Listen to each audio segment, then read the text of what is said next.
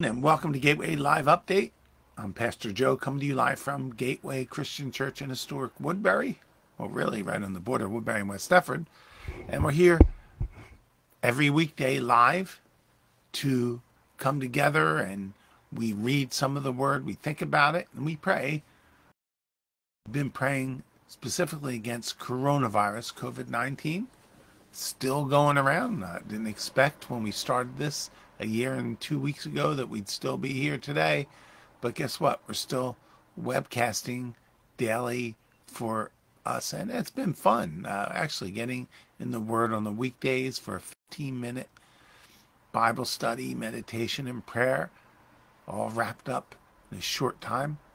Thank you for being along. We encourage you to stay along as we study God's Word together, as we pray and I pray that you you know everything's getting better. It seems a little bad here and there, and uh, never without. So, thanks for joining us. We're in Mark chapter eight. We're beginning the eighth chapter of Mark today. If you want to turn there in your Bible, or if you want to use a device, use a device and turn to Mark chapter eight. That begins during those days, the days when Jesus was in Gentile territory, where we were yesterday in uh, Syria and Phoenicia. This is very interesting because there was 5,000 Jews. Now they're coming into the Gentile area those days. A large crowd gathered. And since they had nothing to eat, Jesus called his disciples to him and said, I have compassion for these people. Now, of course, this is way more in detail in Matthew, but this is the brief edited version, we call it. Uh, he says, I have compassion on these people, for they have already been with me three days and have had nothing to eat. If I send them away hungry, they will collapse on the way, because some of them have come a long distance. And they had. They're out in nowhere land. And it says his disciples answered and said, But where in this remote place can we anyone get enough bread for them? Jesus asked them, How many loaves have ye? And, and they said, Seven. They replied, and he told the crowd to sit down on the ground, and when he had taken the seven loaves and given thanks, he broke them and gave them to his disciples to distribute to the people. And so they did. They had a few small fish as well, and he gave thanks to them also and told his disciples to distribute them. And the people ate and were satisfied. And we read this the last, the feeding of the 5,000. Satisfied means they were full. So they ate and were satisfied, and afterward the disciples picked up seven basketfuls of broken pieces that were left over, and about 4,000 were present. That means men, besides women and children. After he had sent them away, he got into a boat with his disciples and went to the region of Dalmanutha. The Pharisees came and and again, you know, we just call so that amazing, amazing, amazing, amazing time that we see here where Jesus fed 4,000 men plus women and children. Could have been like up to 8,000 toward there altogether. But that's what Jesus did in a remote place where there wasn't anything. And again, we see the God who provided Israel in the desert for 40 years where there was nothing manna and water, and here he provides food, bread from heaven, literally. A couple loaves that fed 4,000 people. I mean, I you know, had catering events for 300 and ran out of food. So I know what it feels like. But Jesus had enough for the 4,000 men plus women and children to eat till they were satisfied. We're talking God here. So interesting. And then says, like I said in verse 11, the Pharisees came and began to question Jesus to test him. See, they didn't want to know. You know usually ask a rabbi because you want to know something. They were doing it to test him. They asked him for a sign from heaven. Jesus sighed deeply and said, Why does this generation seek for a sign? Truly, I tell you, no sign shall be given it. And then he just stops there in Mark. Of course, we know in the, Matthew and Luke, except for the sign of the prophet Jonah. Three days and three nights in the belly of the great fish. And then he left them and got back in the boat and crossed the other side. So now he comes back to Jewish territory. And his disciples had forgotten to bring bread except for one loaf they have with them in the boat. So they forgot to go buy bread, you know, because daily food, that's something that they ate all the time. Bread was a staple. Uh, as it is was in most countries and most cultures, maybe the one you come from. I know the one I come from, we have bread all the time. Bread with dinner. Still like it, but too many carbs. But I, I do like bread. Good, all kinds of good bread. You know, shouldn't even think about it. Like I said, too many carbs. But they forgot to bring bread except for one loaf. Be careful, Jesus warned them. Watch out for the yeast of the Pharisees and of Herod. Watch out for the yeast, the leaven, the agent that let, makes bread rise. But he said of the Pharisees and that of Herod. He picks out two groups the Pharisees, the legalists, and Herod, the politicians. Guess what? They're both around today in the church. The legalists and the politicians, they're there. You see, the church really, although we do complain, and you hear me say, I got to watch what I say because I've had videos taken off YouTube.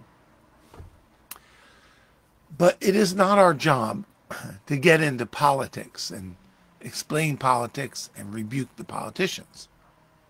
We are in a kingdom. A kingdom has a king, and the king is the head of the kingdom.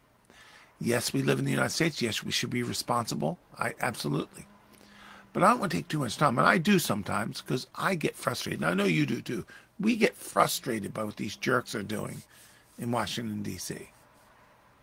So let's, you and I, remember we're members of a kingdom, especially, you know, as people are going to be thinking this week.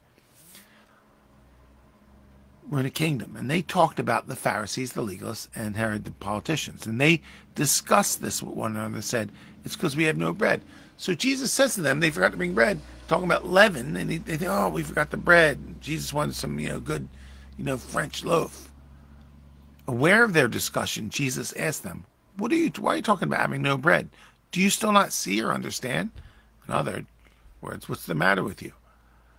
Are you your hearts still? Know, really? I mean, what are you talking about? That's now, see, I just read it. Jesus said, what are you talking about having no bread? That's the way he said that. What's the matter with you? Do you still not see and understand? Are your hearts still hardened? Yes. Do you still have eyes but fail to see, and ears and fail to hear? And don't you remember? Hey, guys, come back a second. And and and again, we get upset because they're so slow. But if we were there, we'd be just like them. What's, what's the matter with you? Your eyes don't see, your ears don't hear. And you don't remember. When I broke the five loaves for the 5,000, how many baskets did you pick up? 12. That's important. 12 for the gen for the Israelites in Israel. 12 represents not only the 12 apostles, but the 12 tribes and sons of Yaakov, Jacob, whose name was changed to Israel. And when I broke the seven loaves, for the 4,000 in Gentile territory, seven loaves. Seven is God's number of perfection. Seven loaves for the 7,000. How many baskets did you pick up? They answered seven. He said to them, Do you still not understand? Come on, wake up. Wake up, he's saying. And they came to Bethesda. Or excuse me, they came to Bethsaida, totally different place. And some people bought him a blind man and begged Jesus to touch him. He took the blind man by the hand and led him outside the village. And when he had spit on the man's eyes and put his hands on him, Jesus said, Do you see anything? Now, by the way, every time Jesus heals a blind person, he does something different. Last time he stuck the fingers in the ear and he spit on the ground. Now, this time, it's different. It says that Jesus spit on the man's eyes and put his hands on him. So Jesus spit on eyes really did some healing. And Jesus asked, Do you see anything? He looked up and he says, I people. They look like trees. Now, of course, this is something you know I always say. Looked up, and I see men as trees walking. The King James version says. Yeah, something I say all the time. I don't know why, but after this, he put his hands again on his eyes and made him look up, and his sight was restored, and he saw every man clearly. So Jesus gave an adjustment here. Now, there's a reason he did that. Jesus never had a problem healing a focus thing. like a focus on a camera. He did this for a reason for us. That's why I said there's deep things in the word that we don't understand. And he sent him away to his house, saying, Neither go into the town, nor tell it to anyone in the town. And Jesus went out, and the disciples went into the towns of Caesarea Philippi. And by the way, he asked the disciples, Who do you say that I am? Now, we were in this last Wednesday night in, in Matthew. Who do you say that I am? And the answer is, Oh, Yochanan the Immerser, John the Baptist. But some say Elijah, and some others say one of the prophets. And Jesus said to them, But who do you say that I am? And Peter answered, Thou art the Messiah. And he charged them that they should tell no one. Now it's neat. Jesus really, Jesus here, really, really did not actually say anything different here than he said in Matthew. So bless art thou, Simon Barjona. Flesh and blood doesn't reveal this, but he's telling them that this is the truth. I am the Messiah. People say Jesus don't say it. He's saying, I am the Messiah. He charged them not to tell anyone. And he began to teach them that the Son of Man must suffer many things and be rejected of the elders and of the chief priests and scribes and be killed and after three days rise again. So at this point, Jesus talks about what happened when people celebrate this week, the week of Palm Sunday and Holy Monday and today, Holy Tuesday, and tomorrow, Holy Wednesday, because it was on this week that Jesus would be rejected by the chief priests, the scribes, and the elders, and be crucified by the Gentiles, the Romans. And he spoke openly, and Peter took him and began to rebuke him. But when he had turned about and looked on his disciples, he rebuked Peter, saying, Get thee behind me, Satan, for you don't desire the things of God, but the things of men. And when he called the people to himself with his disciples, he said to them, Whoever will come after me, let him deny himself, take up his cross, and follow after me. Listen, if you're a disciple of Jesus, if you think you're one, you will deny yourself. You might desire things, certain things that you want, but God doesn't want you to have. You will deny yourself. You'll let go of them. You'll deny your. Fu- now, again, self denial and denial of self are two different things. Self denial is Weight Watchers or uh, Jenny Craig or Nutrisystem. There you deny yourself from eating certain food. That's not what Jesus is talking about. Jesus is talking about denial of self, of your rights, of what you want. No. You take up your cross and follow after him. Taking up your cross means you're going to die. That's exactly what it means. It doesn't mean anything else, but you're going to die. That's what it is. You want to know what taking up your cross means? It's not a religious jewelry thing. It is someone carrying something that means they're going to capital punishment. That means they're not coming back. Uh, they're going, it's a one way thing. And Jesus said, We daily in Gospel Luke, this verse, are to take up our cross and follow after him. Why, Jesus? Well, we're going to pick up there uh, not till next week uh, because tomorrow, Wednesday, and Thursday and Friday, we're going to have special uh, seasonal messages on the cross. And I hope you can join us. We're going to pray now, but, but I want you to be thinking about that. Jesus was crucified, and people observe that on Good Friday, but he wants us to be on our way to death. Your flesh only has one sentence, and that is death.